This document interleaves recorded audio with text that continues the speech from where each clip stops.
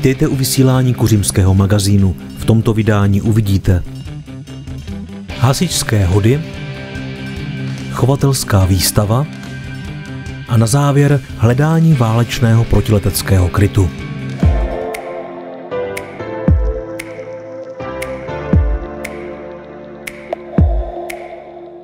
Jedno říjnové sobotní ráno vyrazila kuřimská chasa společně s hasiči zvat obyvatele města na krojované hody plné veselí, tance a hudby. Hasičské krojované hody jsou společně s čarotky z hasiči nejznámější pořádanou akcí místního dobrovolného sboru. Je to dlouholetá tradice eh, v Kuřimi pro občany. Jak dlouho, to vám neřeknu, jsou to desítky let. Je to už hodně historický. Já jako malé dítě jsem tancovával eh, na hody, takže skutečně desítky let, co tahle tradice v Kuřimi probíhá a kuřimští hasiči jsou tu dnes pro občany eh, města. Každý rok je to dosti eh, podobné, kdy máme, že od 8 se vychází od hasičky v průvodu, kde se s kapelou zvou se občané města na tuto akci.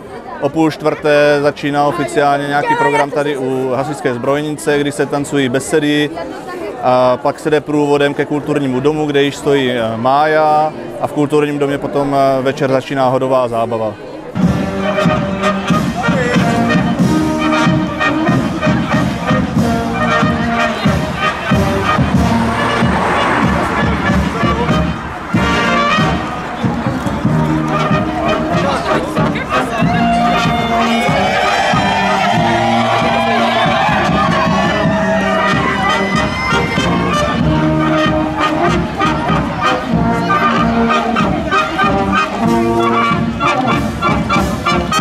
Vytváříme kulturu pro kuřimské občany, aby měli nějaké vyžití a jak říkám, je to dlouholetá eh, tradice, kdy vlastně už v minulosti, kdy nebyly eh, různé spolky, eh, které vytvářely tu kulturu, tak i na těch menších vesnicích právě jsou to sbory dobrovolných hasičů, kdy vytváří ten kulturní život na těch obcích. S lidmi je čím dál větší problém, ale já doufám pevně, že se nám bude dařit i nadále tuhle tradici dodržovat.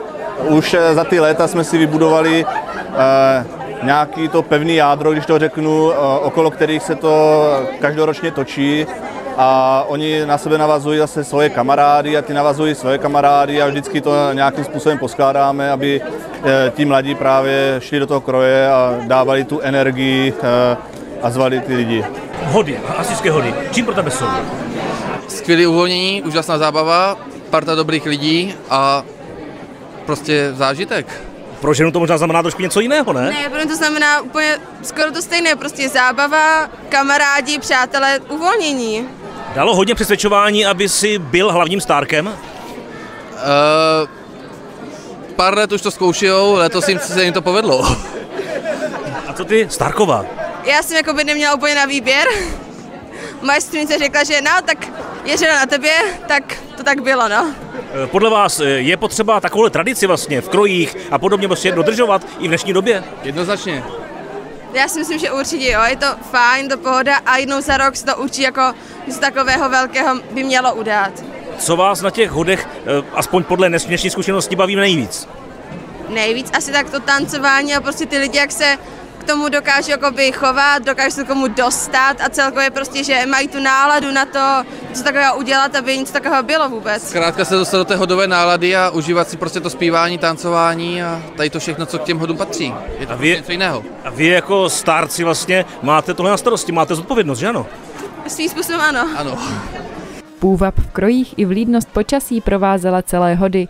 Příchozí mohli vidět moravskou i českou besedu a nechybilo ani půlnoční překvapení. K dobré náladě i tanci zahrála dechová hudba Blučiňáci. Lze říci, že tradice pokračuje dál. Co ale dělá tradici tradicí? Prakticky všechno, co vidíte, takže kroje, stárci, stárkovi, nebo stárky, abych to řekl správně, uh, rozmarinky, které se rozdávají právě lidem po městě při tom uh, zvaní, no a potom uh, samozřejmě mája, bez které by to nešlo, a hodová zábava večer. Hody nejenže vytvářejí zábavu a stmelují kolektiv, také popularizují činnost hasičů a folklor mezi mladými lidmi. Máme už dlouho toho spolupráci, spolupráci s paní Hodaňovou, od které si kroje půjčujeme. A právě jak říkáte, kuřimské kroje, eh, Nějaké verze jsou dochované, když vezmeme třeba kudák, tak ti si šili svoje kuřimské kroje nebo po vzoru těch kuřimských krojů. A, a my tím, že ty kuřimské kroje nemáme, tak používáme kijovské.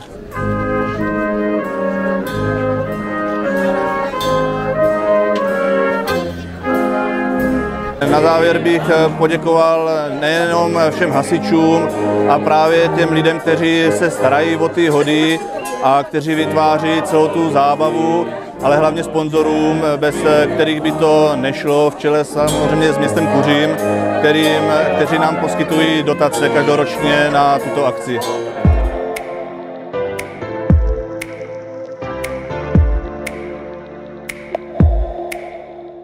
Probíhá každoročně druhý víkend v říjnu v areálu na ulici Otevřená za účasti mnoha dvounohých i čtyřnohých modelů k hodnocení.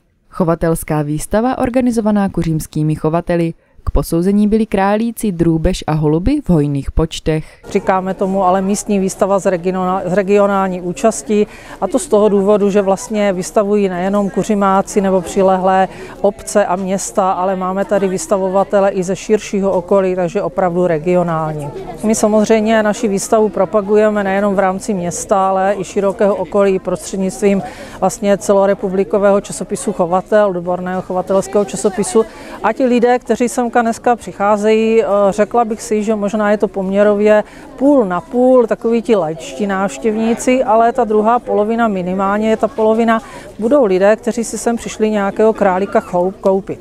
Ať už jsou to teda chovatelé, kteří opravdu hledají nějaká kvalitní zvířata, která následně použijí do svých chovů a které pak budou vystavovat, anebo jsou to vlastně i takoví ti chovatelé, kteří hledají králíka nebo třeba i více plemen, aby pak z toho měli králíky v podstatě na maso.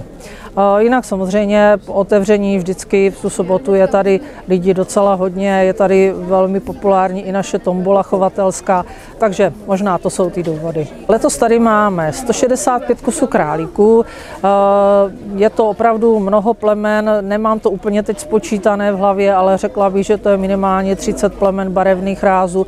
Jsou tady plemena, která jsou běžně vidět na výstavách, ale jsou tady i určité kuriozity.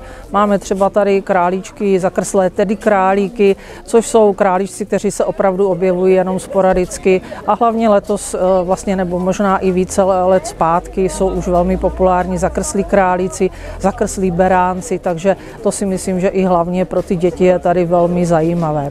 Jinak pokud se týká holubů, těch máme 177 kusů, drůbeže 39 volier, zase je to poměrně pestrá přehlídka plemen, barevných rázů, takže myslím si, že tady si opravdu každý, kdo kterému plemeni jak si fandí, tak si určitě vybere.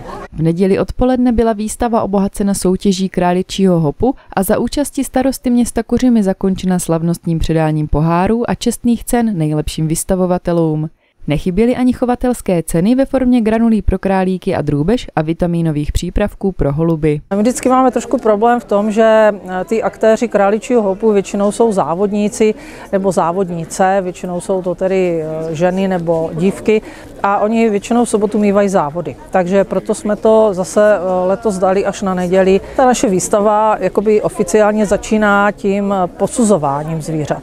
My tady vlastně nevystavujeme zvířata jenom tak, že bychom je chtěli ukázat, ukázat, ale eh, i proto, že je to pro nás jakási prestižní záležitost, pro nás chovatele, že vlastně předvádíme ty svoje odchovy a jako je to vlastně i z takové té pozice jako soutěžní, to znamená, kdo má toho nejlepšího králika, když to řeknu velmi laicky. A my skutečně tady i máme, kromě jiného, dva poháry.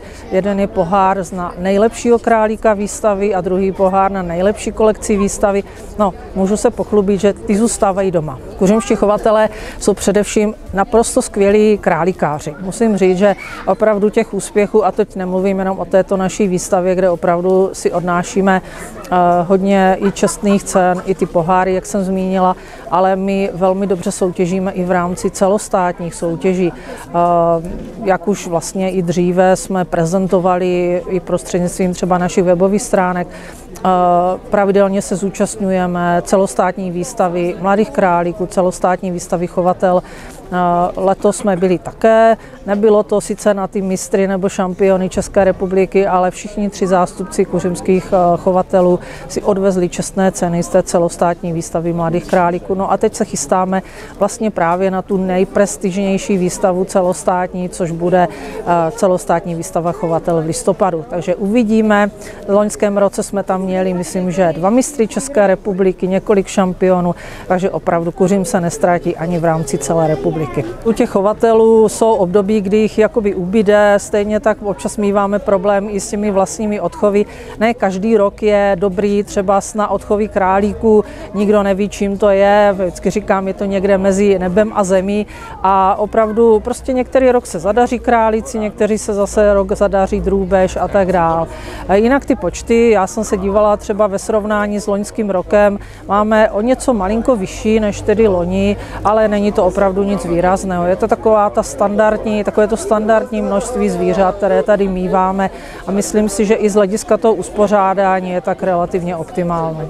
Já teda vždycky říkám všem těm, kteří chtějí nejenom se jaksi zúčastnit, ale také trošku přiložit ruku k dílu, protože právě, právě ta dnešní akce je takovou tou, eh, bych řekla, povinností hlavní, co tady vlastně kuřimští chovatelé mají, protože opravdu i připravit tuto výstavu není otázka nějakých pár hodin. My to vlastně chystáme už, když to vezmu od, eh, vlastně od čtvrtka a budeme tady minimálně do pondělí, takže je s tím opravdu hromada práce. Takže eh, jsou dveře otevřené, ale zase říkám jenom těm, kteří skutečně mají zájem nejenom ta zvířata chovat, ale i taky pomoct jaksi v rámci těch našich akcí. Letošní kuřimská výstava byla opět skvělou přehlídkou nejen vystavených zvířat, ale i práce jedné z nejlépe fungujících chovatelských organizací. Příští ročník výstavy se uskuteční o víkendu 14. a 15. října 2023.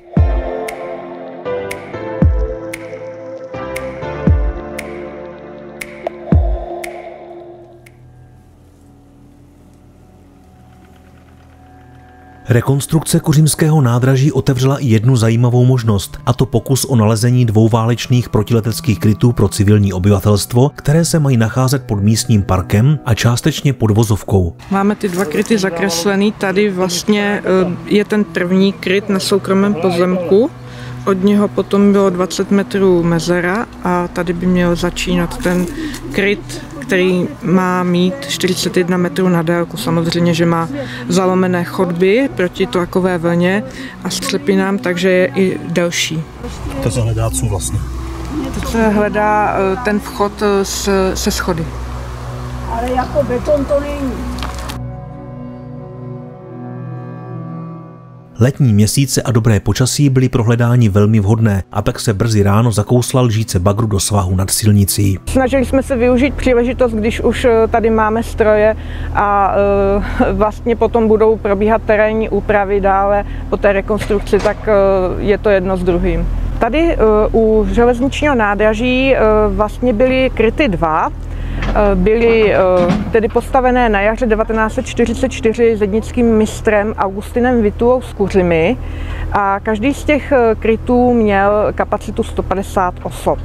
My se teda teď nacházíme v parku u toho druhého krytu. Ten první kryt eh, začínal na rohu ulice Třebíského a tam tedy eh, vždycky, když byl poplach, tak eh, běželi lidé se ukryt právě z těch okolních ulic, ať už to byla právě ta ulice Třebíského nebo Zahradní a vlastně okolí. Kryt se hledá v tomto případě poměrně snadno, protože máme eh, dochovanou eh, dokumentaci přímo od toho zadnického mistra Augustina Vituly, eh, který poměrně precizně nakreslil ty technické plány, takže my známe obě polohy těch krytů a teď vlastně jenom stačilo zaměřit přibližnou polohu a zkoušíme tedy najít přímo uvnitř toho svahu tedy ty kryty.